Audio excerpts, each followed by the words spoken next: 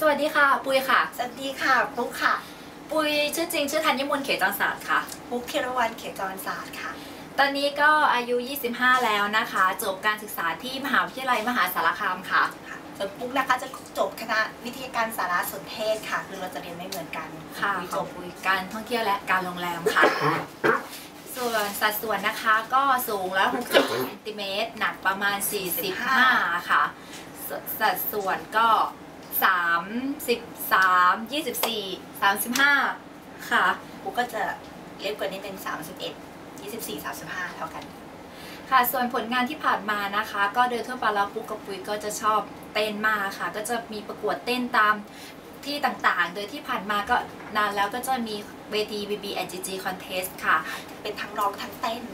เป็นโครงการของ Exit กับ t o y o p a t ซึ่งก็นานมาแล้วประมาณหลายปีแล้ว7ปี คะ แล้วก็ตอนนี้ของปุยก็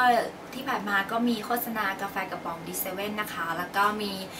เดินแบบให้เสื้อผ้าเพย์บอยค่ะ แล้วก็มีละครช่อง3เรื่องทางช้างเผือกนะคะ แล้วก็เป็นละครวิทยาธรรมช่อง TITV ค่ะ ปัจจุบันก็ทำที่ทีวีอินไซด์นะคะ อยู่ในชิคชาแนลค่ะส่วนปุ๊กตอนนี้ปัจจุบันก็ทำงานที่ธนาคารไทยพาณิชย์สาขาเอสพนาดค่ะ